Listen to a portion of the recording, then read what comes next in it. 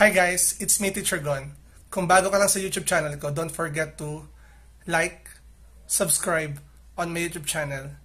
I hope na yung mga math videos ko ay makakatulong sa inyo in solving word problems or mathematical problems. And maraming salamat po sa inyong suporta and sana maging masaya lang tayo in solving those kind of problems. Again, salamat and God bless. Hi guys, it's me Teacher Gon. In our today's video, ang pag-uusapan naman natin ay yung MTOP Reviewer for Grade 5. Um, actually, I have picked some questions from the division orals of Grade 5 last 2018. So, dito sa easy round, I've got three questions. So, we have the easy round item number 1, 6, and 9. For the average round, I picked number 3 and 4 para mapakita ko sa inyo solution. And then, bonus question natin na yung clincher round. Pumili ako ng isang piraso. So, let's get started in discussing these different questions from the MTOP Division Round 2018 of Grade 5 students. So, we have here number 1. What number divided by one-third will produce 315?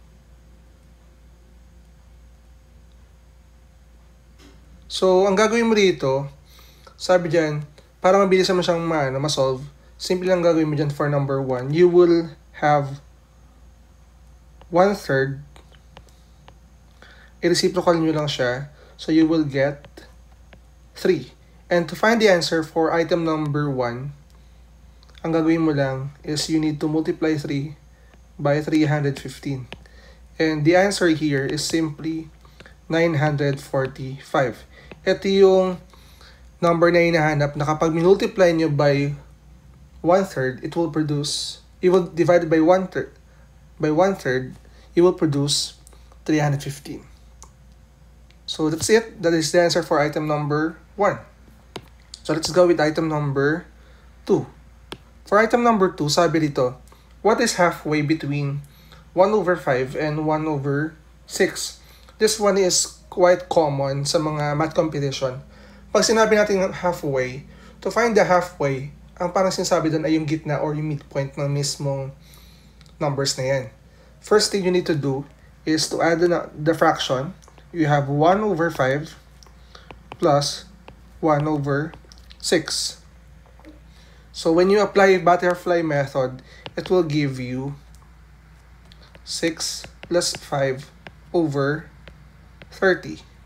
So, ginawa lang natin, we multiplied 1 and 6, 1 and 5, tapos multiply natin yung denominator. So, we have 6 plus 5 all over 30. And that will give you 11 over 30. At since halfway yung hinahanap natin, this 11 over 30 will be divided by 2.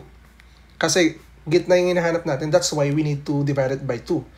So, to simplify that, you will have 11 over 30 and this 2, gagawin nyo lang, you need to get the reciprocal of 2 which is 1 half.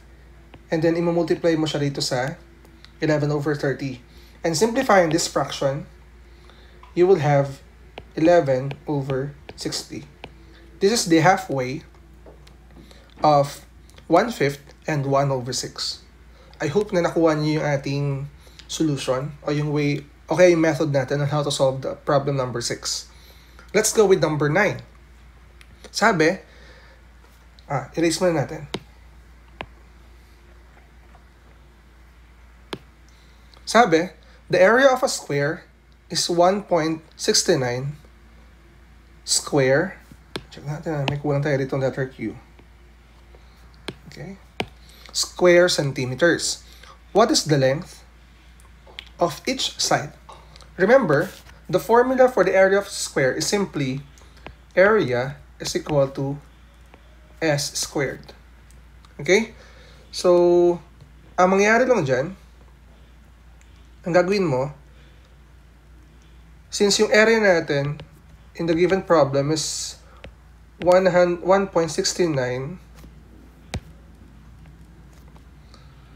centimeter squared, ipapalit mo lang tong value na to sa A. So you will have 1.69 centimeters squared be equal to s squared. And then, since ang hanap natin ay yung value ng s, ito yung pinapanap sa atin kasi sabi, what is the length of each side? So, next step natin dito is you need to get the square root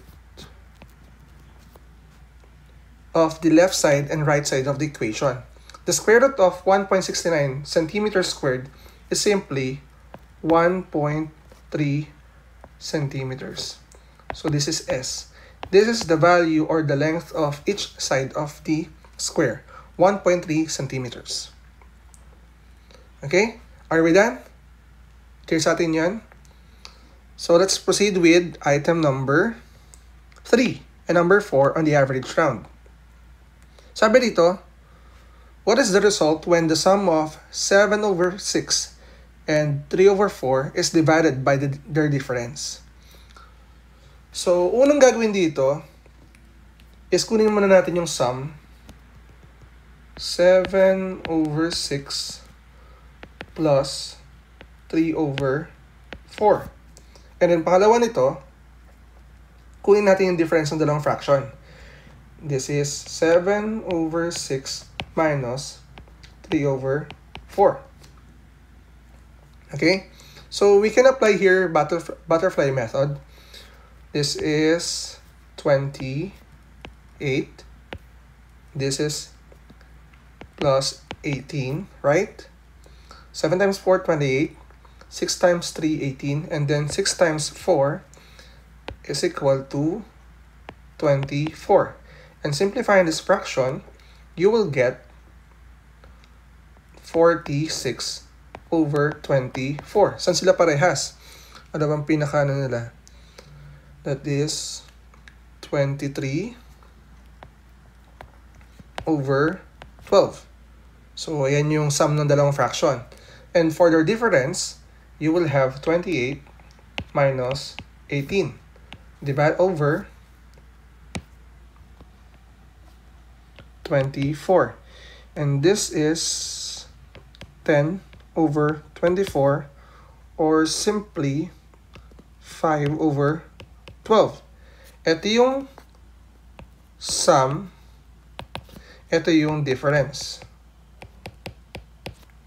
So, ang gagawin lang natin, sabi dito, what is the result when the sum of 7 over 6 and 3 over 4 is divided by their difference? So, you will have 23 over 12 divided by their difference, 5 over 12. Gagawin nyo lang po, you have 23 over 12 times 12 over 5. So, cancel lang natin to kung mapansin nyo. Pag multiply nyo yan, you will cancel out 12. And the answer is simply 23 over 5. This is the answer for item number 3. Now let's go with item number 4. In item number 4, sabi dito, a plate has diameter of 10 inches. Calculate the area of a plate of the plate to the nearest square inch. So since yung plate natin can be imagined as circle, ang kailangan nating formula dito ay yung formula ng area ng circle. Pero dapat ang gamitin natin ay yung meron ng diameter. So you will use area is equal to d squared. d stands for the diameter pi over 4. So ang given natin dito is we have the diameter of 10 inches meaning your d is equal to 10. 10 inches. Palitan na natin yan. You will have area is equal to 10 inches squared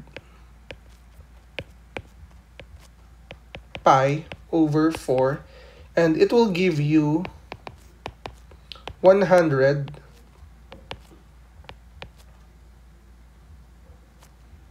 paano ba yan? Parang ganti yata yan. Pi over 4. So before niyo multiply yung 100 by pi, ang gawin nyo muna is simplify nyo muna yung 4 and 100. This is 25. And multiply nyo yung ating 25 by pi, you will have approximately 25 inch squared times 3.14. So sabi dito, pag multiply nyo to, you will have the answer of area is equal to 78.5 inch squared. Pero sa problem natin, puntahan mo lang na natin, sabi daw, i-round off daw natin or i-calculate natin in the nearest square inch. So, gawin natin whole number. For the item number 4, the final answer is simply 79 inches squared. This is the area of the plate with a diameter of 10 inches.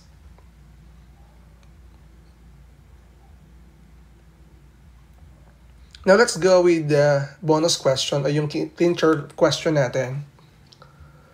If a number is multiplied by itself, the result is 45A, 45A69. If the number is divisible by 3, what is the value of digit A? So, wag nyo na, hindi nyo na kailangan ano, i-multiply yung kahit sa ano. Ang problem lang dito is that we have 4, 5A, 6, 9. Ang pinapahanap sa atin, what is the value of A? Ano yung value ng A? Ang clue natin dito, that this number, kapag nireplace natin yung A as a number, this is divisible by 3. Ang rule naman natin, para malaman natin whether the number is divisible by 3, kapag inad natin or if we're going to have the sum of each its digits, dapat yung sum nila is divisible by 3. In that way, yung number na yan ay divisible by 3. So, kung iisipin nyo mabuti, paano natin gagawin yon? Um, napakadali lang tong problem na to. Look at the numbers. You have 4, 5, blank ko muna. You have 4 and 5. When you add 4 plus 5, you will have 9. And then, meron ka pang 6 plus 9, that is equal to 15. These numbers, 9 and 15, are already divisible by 3. Kapag inad pa rin natin yan, 9 plus 15, you will have 24. So, ang gagawin na lang natin, ano ba yung number na pinakamalapit na divisible by 3? Eh, syempre, the number itself is 3. Therefore, the value of A is simply 3. Try natin. If we have 4, 5, 3, 6, 9. Pag inad natin yan, 4 plus 5, which is 8, plus 3, 11, plus 3, uh, sorry, plus 6, 17, plus 9, which is, again, 4 plus 5, 9. This is, sorry, 12, right? Plus 6, 18, plus 9, 27, in which yung ating 27 is divisible by 3. Therefore, the value of A is simply 3. So, kung meron kayong question or another solution sa mga problems na meron tayo, don't forget to or don't hesitate to comment down para magkaroon ng insight yung ating mga viewers. Maraming salamat sa inyong pagsuporta. Again, I am Teacher Gon. Don't forget to like and subscribe on my YouTube channel. Thank you.